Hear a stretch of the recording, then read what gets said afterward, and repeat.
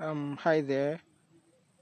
Um, in today's video, we'll be take, picking up from where we left off, and um, we'll be talking about creative writing as a viable tool for mass communication. This is the fourth episode. You can find other episodes on this channel. Um, so we left off at the point where we are talking about, or where we mentioned um, the various forms or different forms of bland non-fiction or plain non-fiction, otherwise known as factual non-fiction.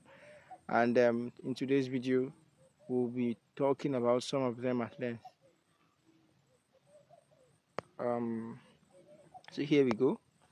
Um, so here is a chart showing different forms of plain non-fiction, and we have academic writing, we have biography and autobiography, we have history, we have journalism, we have self-help or manuals or guides, and we have others that we couldn't mention because of constraint of time and others, other factors here.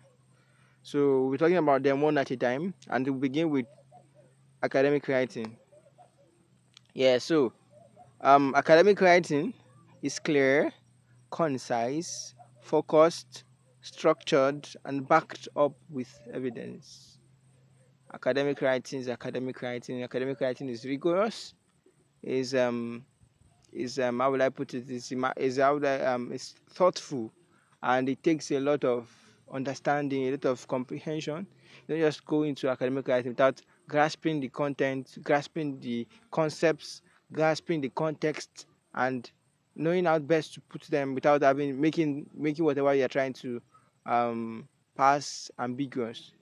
So it is its purpose is to aid the reader's understanding. Yes, when you um, have to write a paper, an academic paper, or a term paper, or an academic research, or an, um, a final year project, you have to make your language precise, concise, clear, and most importantly, ensure that whenever your readers read it, they understand the concept you're trying to um, explain to them, or they understand the point you're coming from and what you are going to.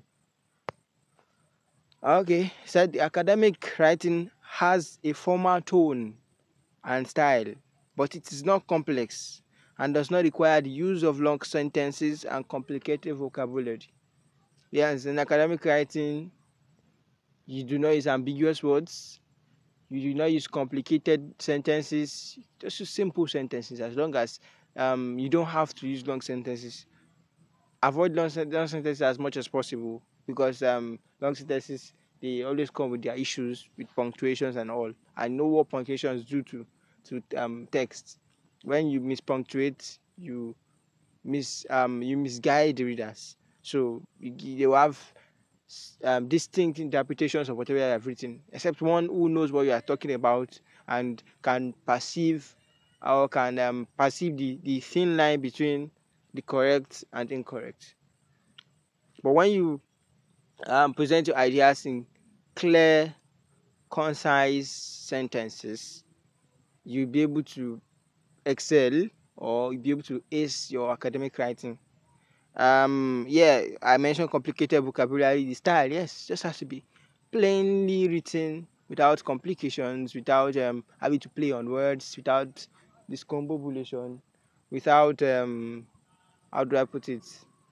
Whatever you call it, whatever any any form of ambiguation happens. So you you avoid it in academic writing. So this definition is um called from the website of the University of Leeds on an article titled Academic Writing.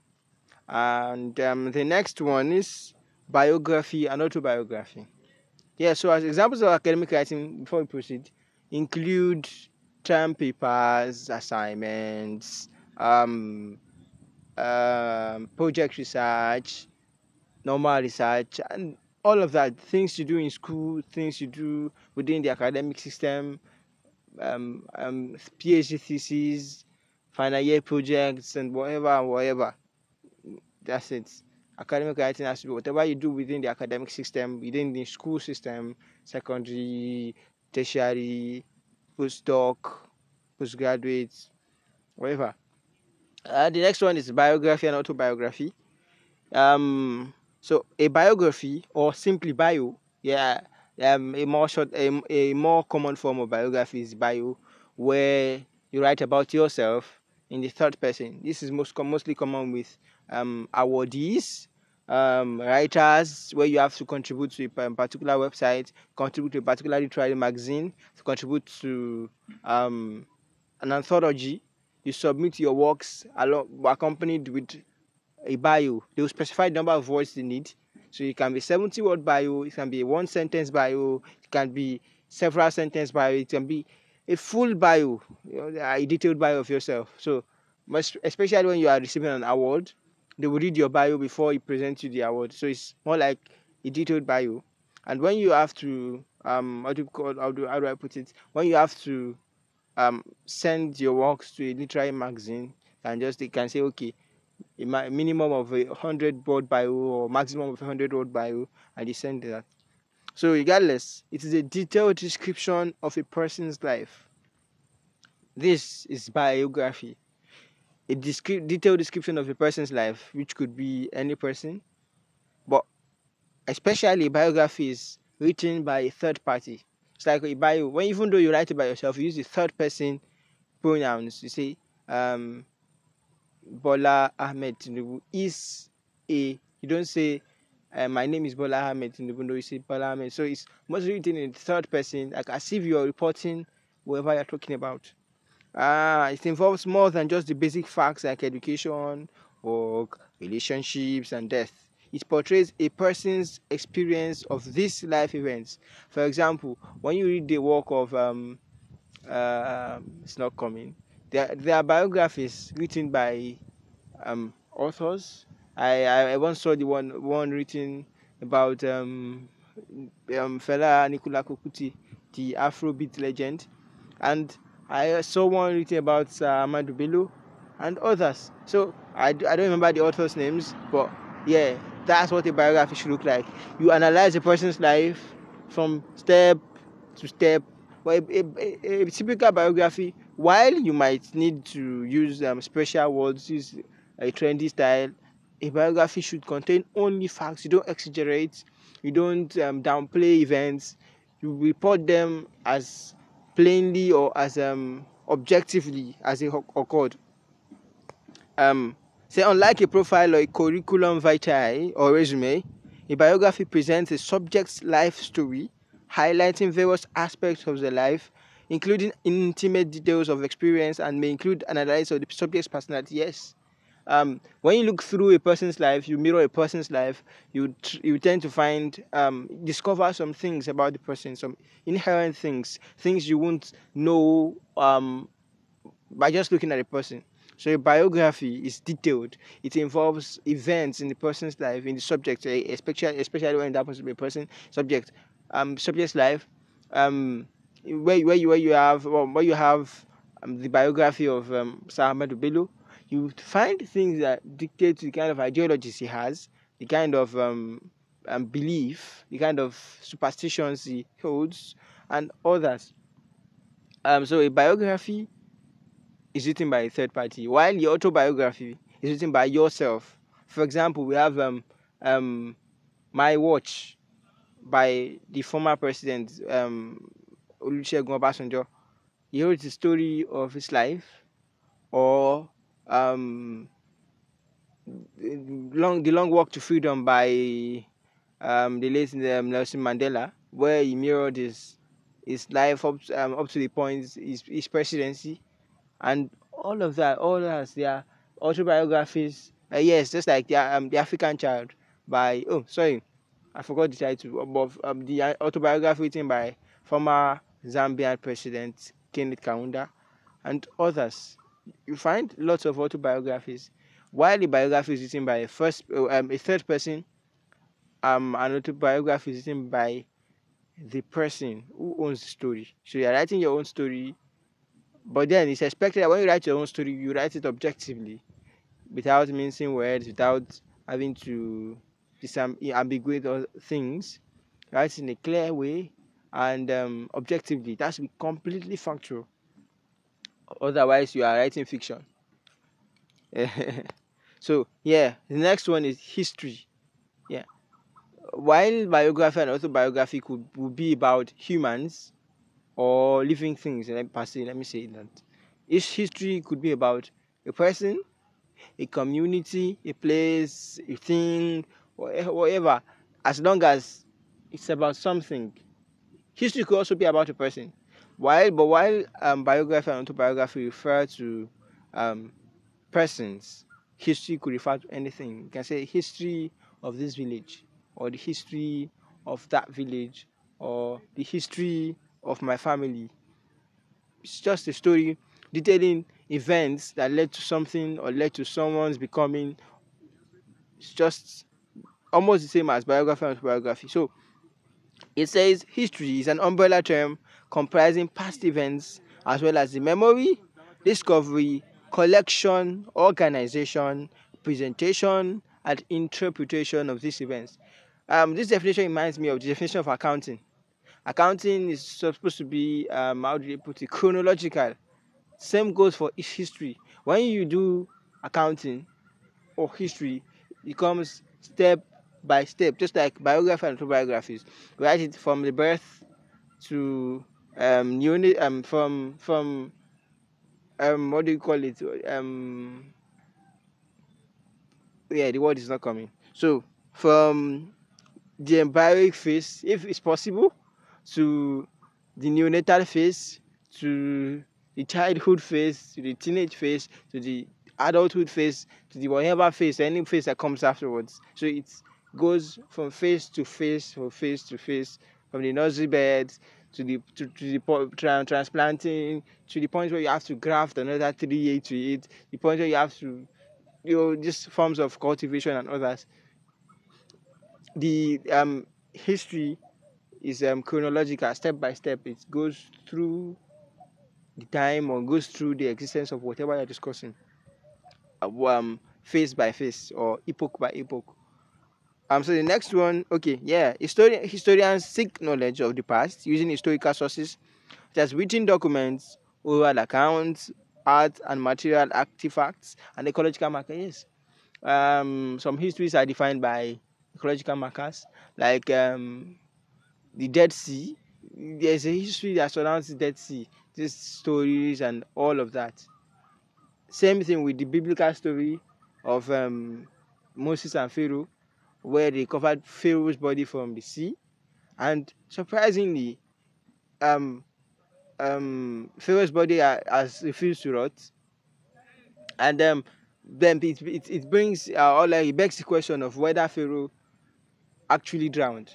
But then, after going after um the, uh, the what call it post mortem, they discovered that indeed had granules of salt in his nose, which shows that actually According to history, as history says, he drowned, but magically or somehow his body has fused to rot, and it happens. So we knew of this because of history, biblical history, um, um, uh, cultural history, whatever history. So this definition is from Wikipedia. Um, the next one is um, journalism. Yeah, journalism is is a, a very broad aspect of um, factual non-fiction or plain non-fiction. And while journalism has evolved from having to follow a rigid pattern, under journalism there are part there are, there are, there are, there are forms of journalism that follow the rigid pattern. But then journalism has evolved. It's no longer the traditional way of journalism. Journalism has changed, it has moved from the point where you have to use just basic words to a point where you can explore with style, explore styles, experiment and others. But basically journalism at its basic at its um at its basic level is meant to be completely factual free of ambiguity and concise and clear. Um so journalism is the production of and distribution of reports on current events based on facts and supported with proof or evidence. Yes importantly journalism must be accompanied with proof and evidence. Journalism can, is always based on facts journalism that is not based on facts it's just um, fallacy, falsehood, fake news, um, as popular in these days, um, and others. So journalism is meant to be plain and factual. as this definition is called from Wikipedia. Um, yes, especially in reports, news reports. Um, it, an editor once told me that a news report should be so basic that um, a basic four students should be able to read a news report and comprehend what it's saying, comprehend the news in it, comprehend the, the updates in it. So, um, um, um, like I mentioned, like I said earlier, journalism at its basic level should be plain, bland, and um, clear, concise, and um, how do I put it? Understandable. Okay, and the last one is um, self-help manuals and guides.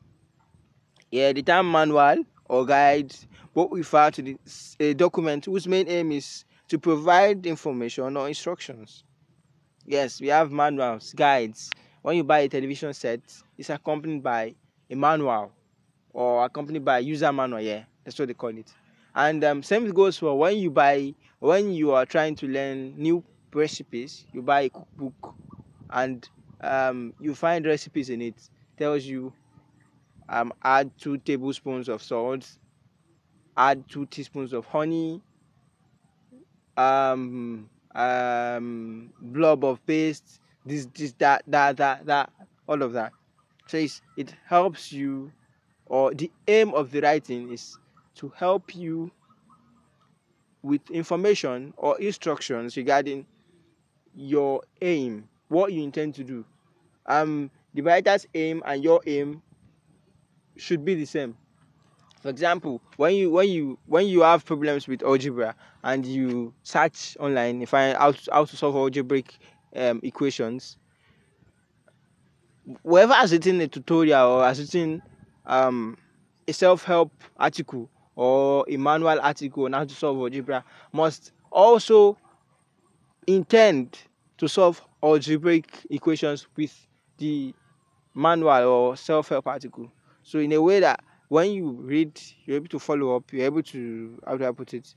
You're able to follow up and um, understand and comprehend. You're able to overcome your um, difficulty, the difficulty you faced that made you search for a solution to um, algebraic equations. So yeah, it says self-help articles or manuals or guides are usually expected or are generally expected to okay okay okay so it is generally expected that guides are shorter concise and more to the point than manual. Yeah manuals break down everything enable you to understand everything but a guide is just in steps. Number one wash the apple number two skin the apple number one three slice the apple into pieces. Number four, stone the apple, yeah, like that, systematically. And um, a manual is expected to give a more in-depth information and instruction than a guide. However, in practicality, the terms are often used interchangeably. Yes, mm, yeah, it takes it takes um, a lot of understanding to differentiate between manuals and guides. So this explanation was called from difference between manual and guide.